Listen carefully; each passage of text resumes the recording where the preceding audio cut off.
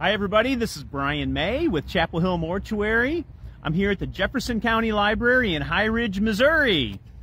Just wanted to remind you all that this Thursday, February 28th at 6 o'clock p.m., we will be here hosting a question and answer session right here at the library.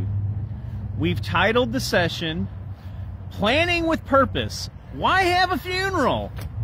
We hope you'll join us this Thursday, 6 o'clock p.m. You can touch base with the library directly, let them know you're going to be here, or you can send us a message right through our Facebook page.